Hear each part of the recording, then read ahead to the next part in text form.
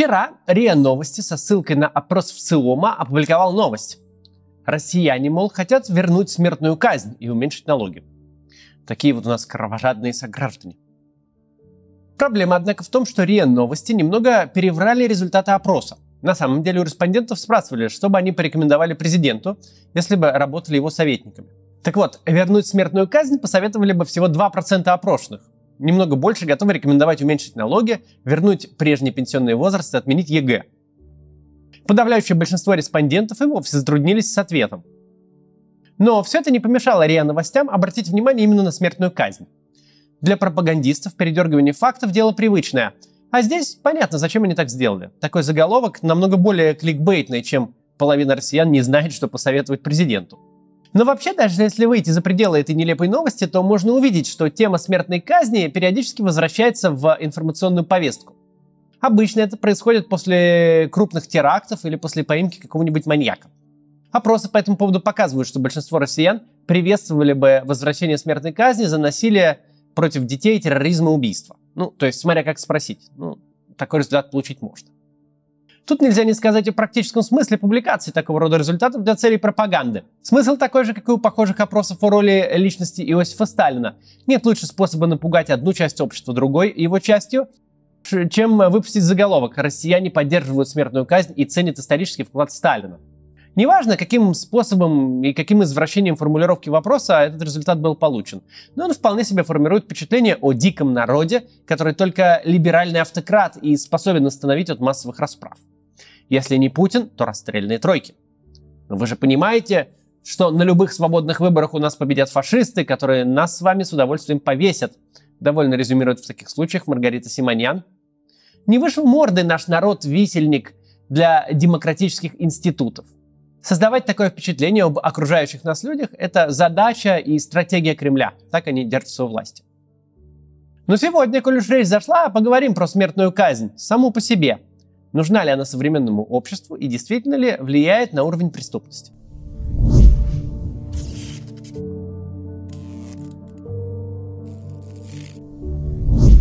Смертная казнь – очень понятная обывателю санкция. Это буквальное отражение принципа «зуб за зуб».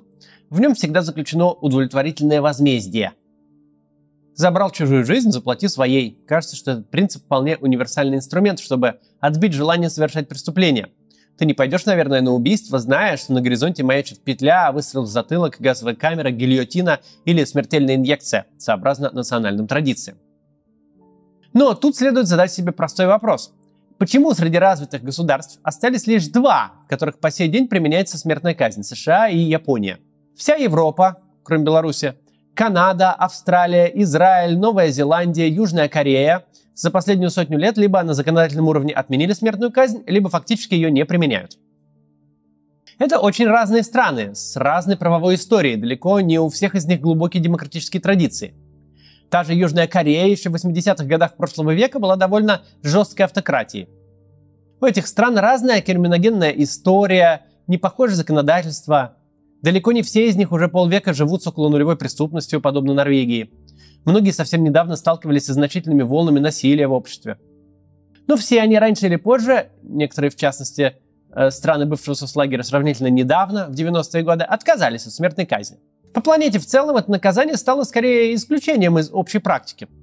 Почему же так вышло? Ответ прост.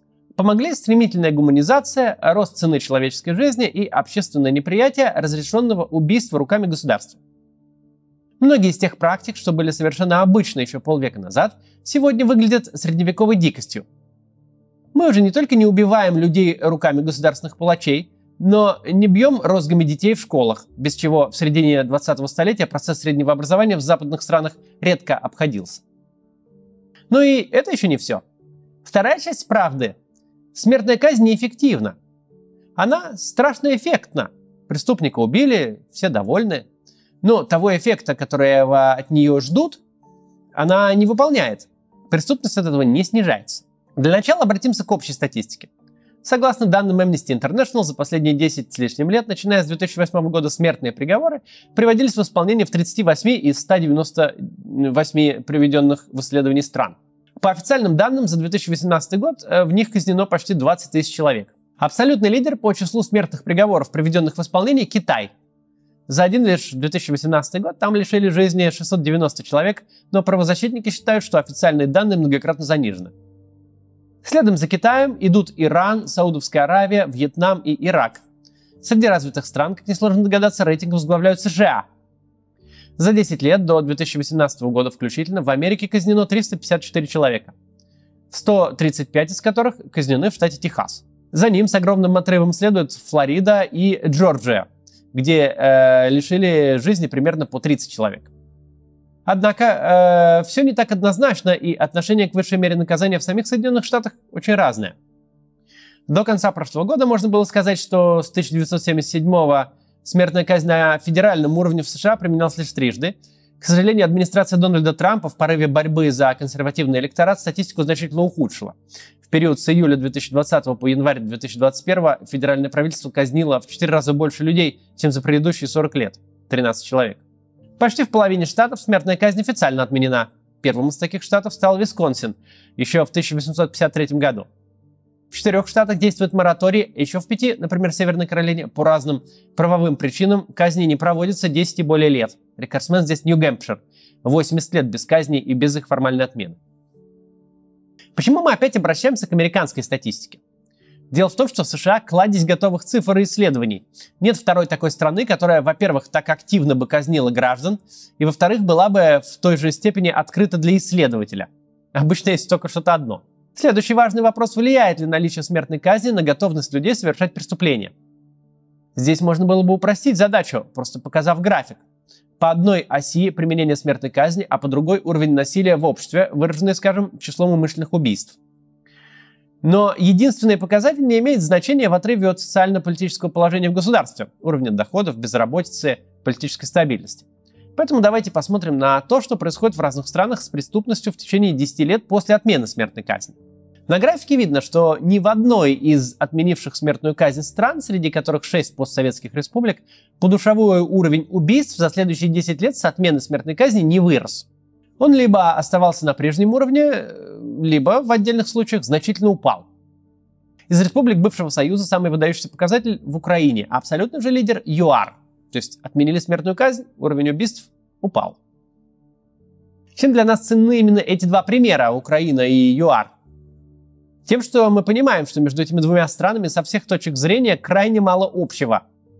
Тем не менее, линия тренда после отмены смертной казни у них одинаковая – в среднем же в приведенных на графике странах после отмены смертной казни количество убийств уменьшилось на треть. Другой пример, который может дать пищу для размышлений, данные внутри одной страны. В 2001 году университет Вермонта сравнил статистику убийств в штате, смертная казнь была отменена здесь в 1964 году, и в среднем э, по США с момента возврата наказания в 1975 году.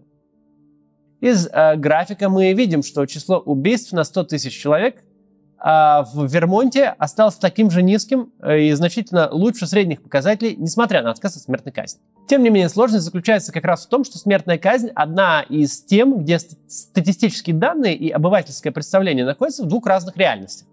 Такие вопросы, кстати, самые сложные для госуправления. У нас нет ни одного а, показательного исследования, где смертная казнь вела бы к снижению уровня преступности. Больше того, две карты по числу смертных казней и уровню убийств в США мы можем показательно друг на друга наложить. Где больше всего убийств, там и больше всего смертных казней. Где больше всего смертных казней, там и больше всего убийств. И наоборот. Но едва мы переходим к общественному восприятию проблемы, то видим картину прям противоположную. В исследовании Северо-Западного университета, это частный университет в штате Иллинойс, приводятся данные опросов агентства Gallup за 85-91 годы в сравнении с ответами профессиональных криминологов.